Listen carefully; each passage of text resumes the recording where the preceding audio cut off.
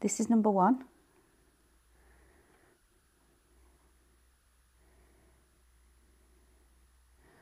That's a bit close, that. Mm. Perfect. Hello everybody and welcome to our fabulous launch of our Winter Wibblers uh, gatherings. And this is gatherings 1 and 2 so the first and second of the releases that we did we've actually done you a gathering of each of them and we've brought them out together. So this is our set of dies and we've done them look as Swift which is just amazing and they'll go through your baby blues as well, which again is just fabulous. But look at all the cuts that you get in in one go. So let's look at the first die set. So this is, this is die set number one, let's say, edition, first edition. So if you remember, we had that lovely, crazy looking little moose.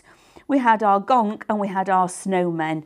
Uh, so we've done him again, all three, a lot smaller and then we've given you these even smaller ones. Now where the actual dies have got an orientation, such as him, the little one faces the, the so they can have a conversation. So we've done the opposites for you. So on here, I've used the actual Winter Wibblers collection itself, the main dies.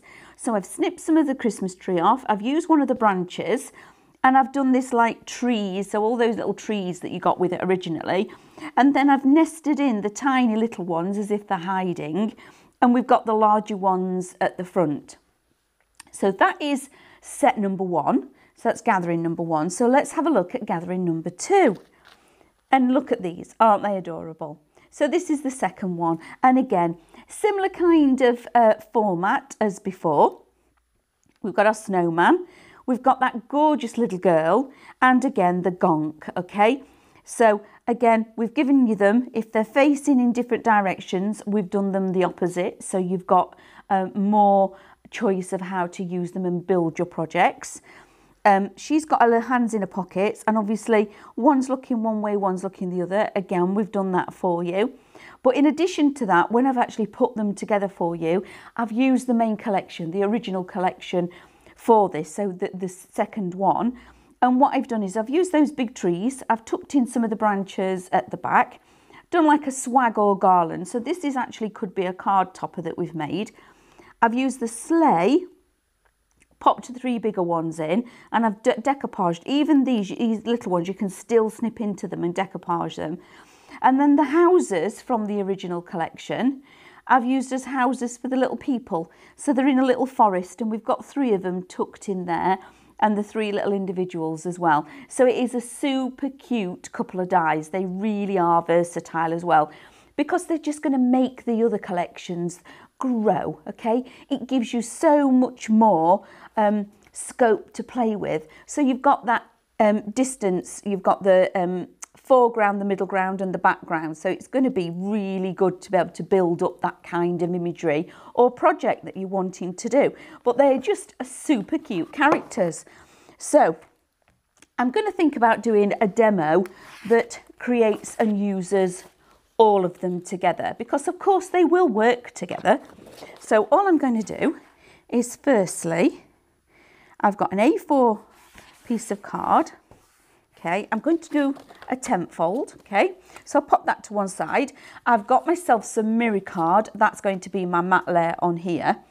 And I've also got myself a couple of prints. Now these are from the original the very first one the main collection that we did. We did some backing papers for it. And that's what I've decided to go with with this. I've chosen two and I can either go with one that's snowfall or I can go with one that's a little bit different and maybe Scandi. So I'm just going to lay out the characters and have a feel and a play for what I'm looking for because I am going to use the trees and I'm maybe thinking that we could have a choir. So we could have a choir of all these characters all come together to have a little sing. But look, when you've got that Swift system, look how many you can cut out. It is just fabulous. Now, when I do my decoupage, I always think about the decoupage layers in three, okay? So I always put them into threes first, no matter what I'm doing. So we have our little characters. I mean, they are super cute just on their own.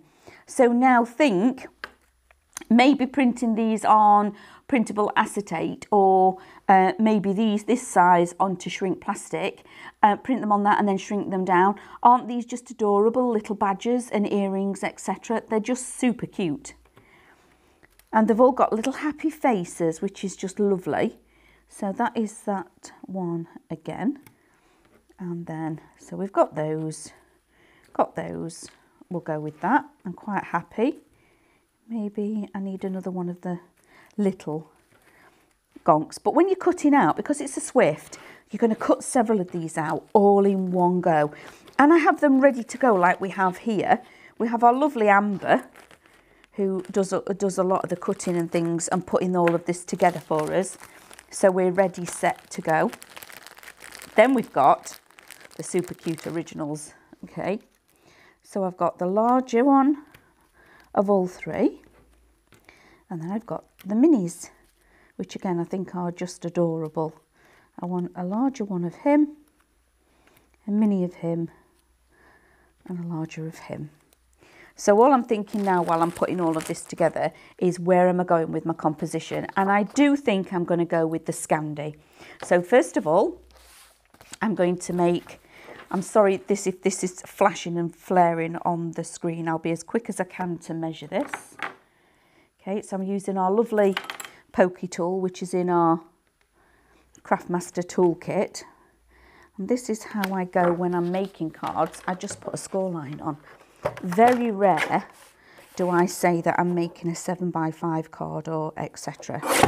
I make the card as it just comes along and then I make an envelope if it needs be or I use our fabulous boxes so you know those frames that we've got I'd probably use that and use that as a, an actual box.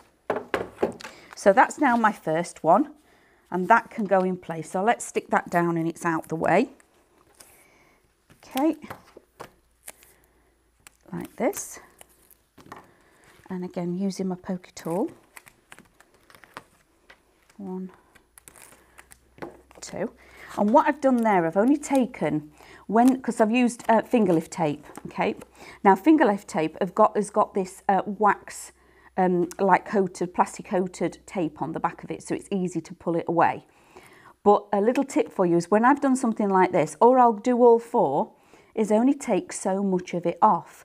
So now when I flip that over all of this is still on and all of this is still on. So I know that when I'm positioning that I've still got, none of that is touching. The tape hasn't touched, okay, until I, I put actually stick it in place. So I line it up. When I'm happy with how I've got that lined up, then I just touch there and there and then take the tape away because it still gives me that wiggle room to be able to um, change it if I want to change it. So now the next thing is I want that Scandi feel, but I want it at the top up here. And I'm going to put all my characters at the base. Okay, so again, because our printer prints an edge, I'm going to take all of these edges off first, or at least two of them, and then I can see what the rest of it is like. So take that away. Line that up again. Not very much measuring goes off, I must admit. I'm going to put a mark on there, mark on there. Now you may not be able to see it, but I can. So my first one is here. Put my glasses on. There it is. And then the second one is just there. Like so. And obviously that is then another card, or several cards. And this one I am going to put foam tape on because I want to add that matte and layer. Now at this point, when you're doing cards like this, you can then go in with your glues and add your glitter, just like I have here. Let me just bring this board back in. All I've done is done glue dots just dots and sprinkle glitter on and it gives you that lovely bit of sparkle and then that tiny little flash of um, the mirror behind really makes that, that difference. So again, when I've put my tape on, I've only done it on two sides because it's a consumable. We don't want to waste it. And I've also put it straight across the middle, okay? I'm not going to take that backing off. I don't need to because this is going to be strong enough to hold all this together.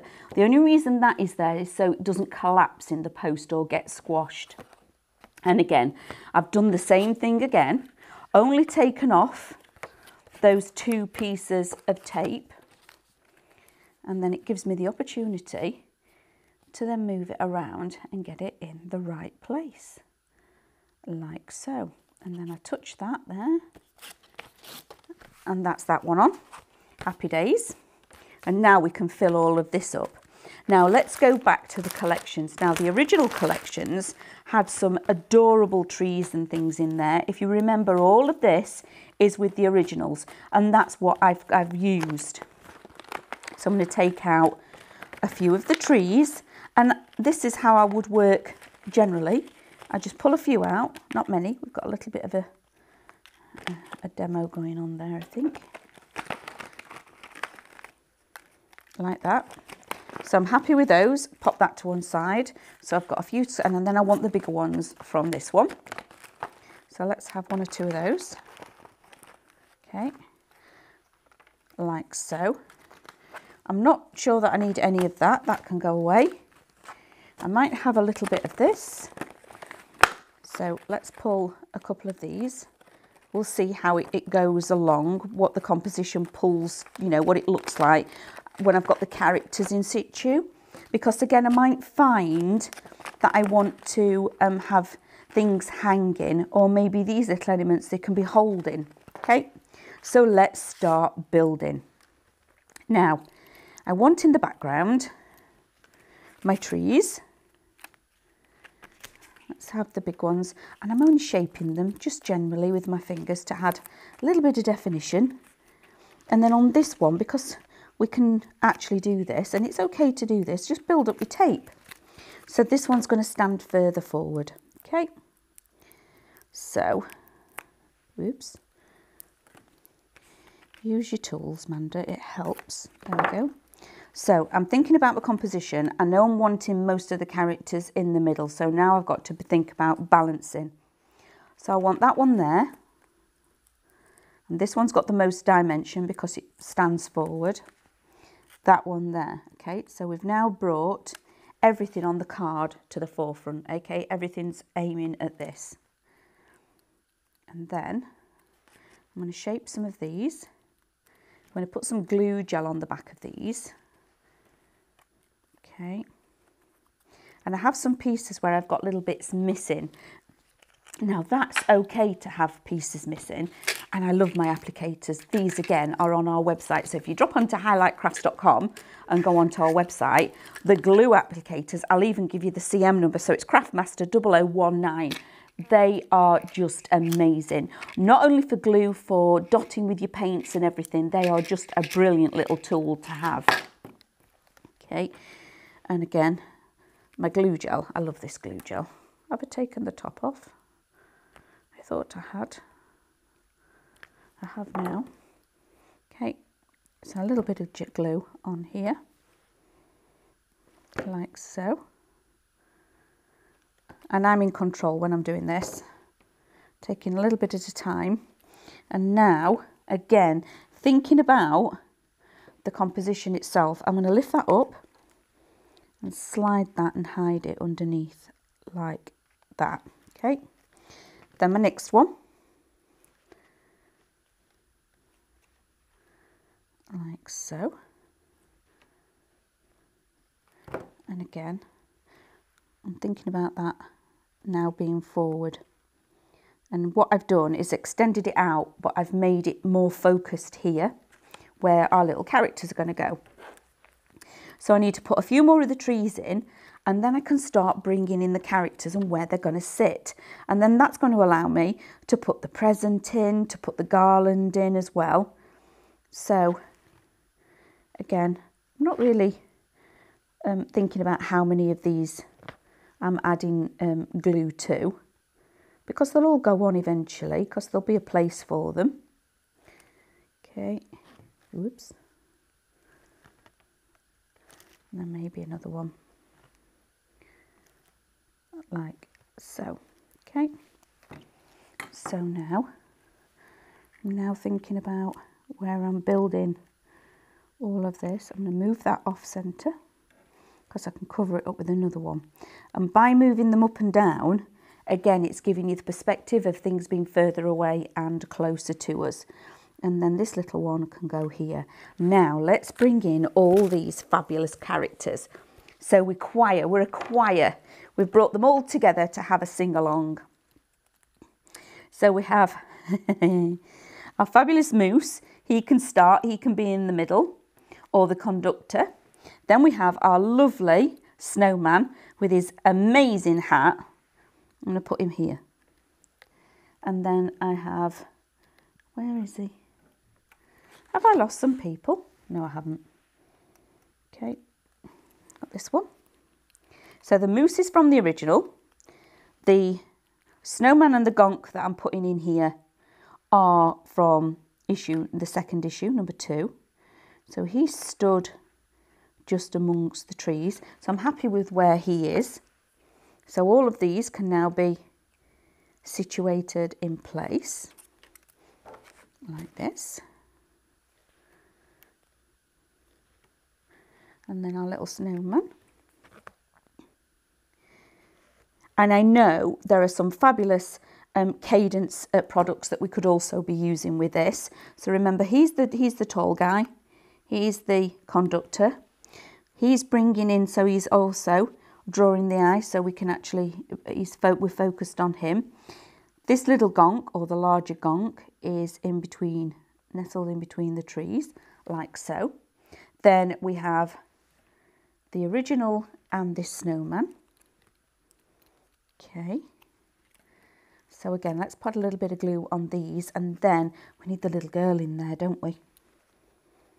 Yep and then we can put all the cute little characters in as well because that's why we have all of these so you can build up those ideas on all of those different projects but I just love to be able to bring them together and have a little singing choir because they may not be caroling it could just be a choir that's come together okay so he is going here like that. Going to tuck him in because he's facing this way so he's looking at this gonk and going, oh, what are you hiding behind there?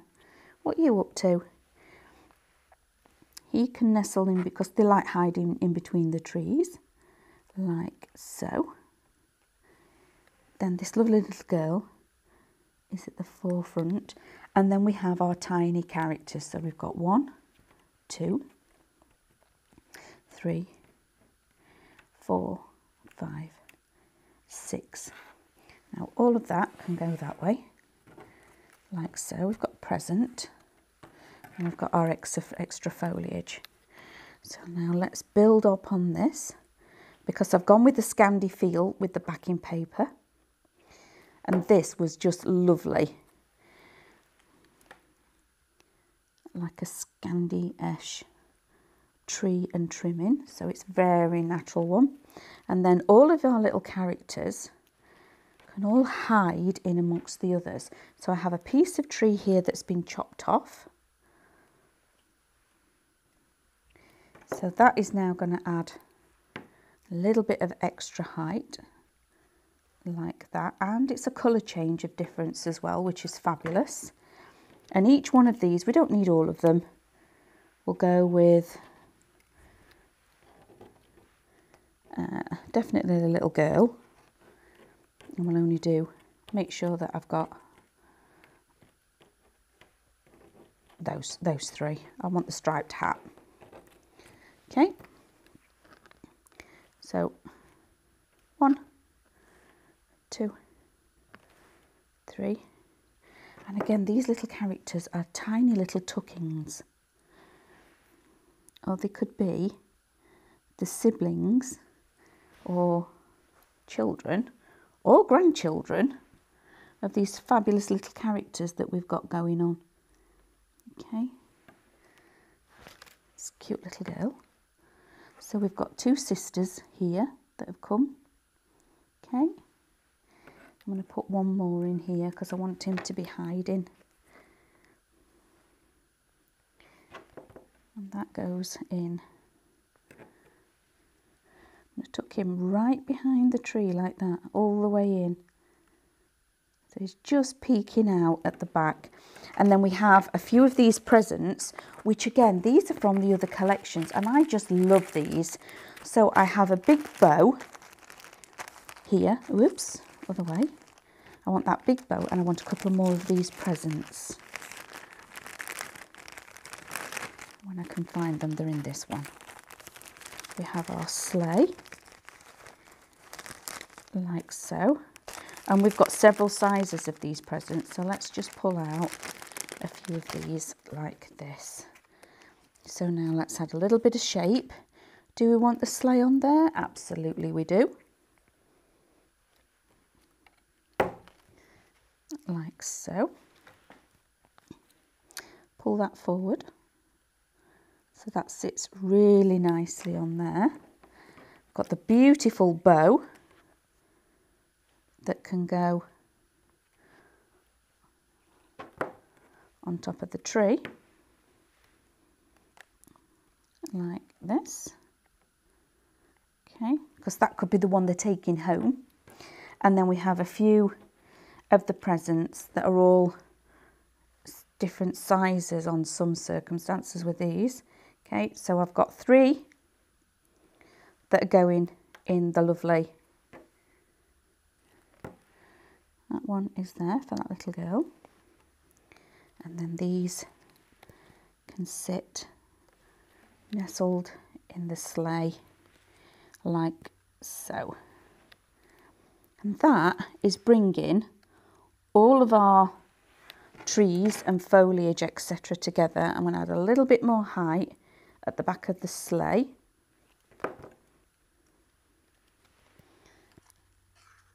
There like that. So remember, all of these, we could go really over the top with our fabulous glitter, etc. all over here. We could add a little bit more foliage and have them over the top.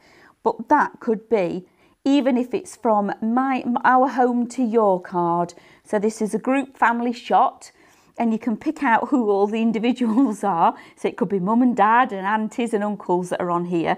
But that is just a super cute card using all of the Wibblers that we've now launched, those fabulous gatherings of, of number one and number two, in conjunction with the actual uh, main collections from the Wibblers as well. So I hope you enjoyed a little bit of inspiration. Okay, um, show us all your makes. We like to see what you're making with our collections as well. So send them to highlightcrafts.com and uh, they'll pop them on the post or even share them within our Facebook pages that we've got as well. And um, come and join me again soon for a little bit more inspiration. You take care. Bye.